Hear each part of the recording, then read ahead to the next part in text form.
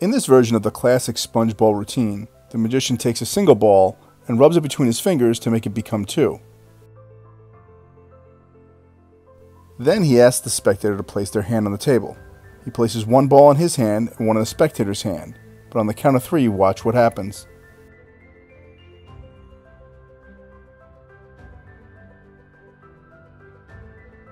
Now he places both balls into the spectator's hand and does a magical gesture.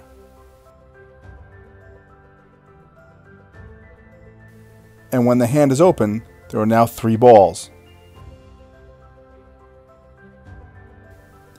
He then places those three balls into the spectator's hand. He counts to three and does another magical gesture, and guess what happens? Now the magician takes the balls, one by one, and stuffs all four of them into his left hand. He asks the spectator to blow on his hand, and the balls vanish. Now take a closer look as the magician places one ball in his hand and one into the spectator's hand. Then he counts to three, and the balls teleport together. Now I'm going to teach the secrets, but before I do, please take a second to like this video, and if you haven't already, subscribe to the channel. You'll begin by placing two of the four sponge balls into your pocket.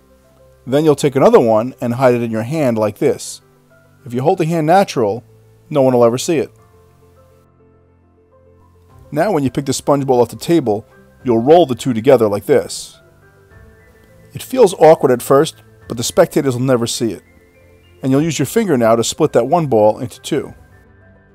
Now you'll ask the spectator to put their hand on the table. When you place the first ball into your left hand, you'll actually just mimic putting it there, but you'll retain it in your right hand. Practice this motion over and over until it looks natural.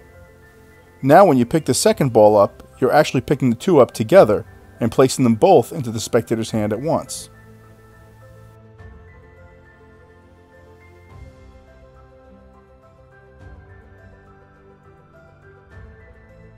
It's always good to flip the spectator's hand over after putting the balls in there so that they don't prematurely open their hand.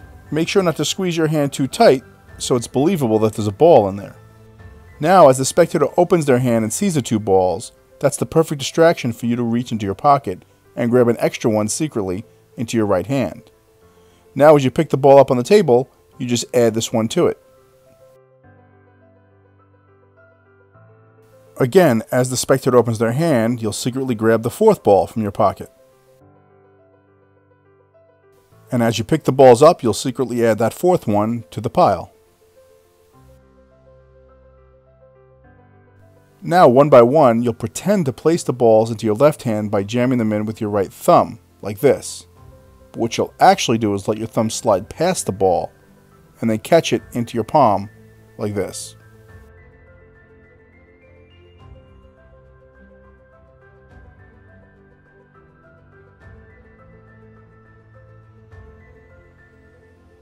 Now, as the spectator blows in your left hand, you can ditch the four balls into your pocket.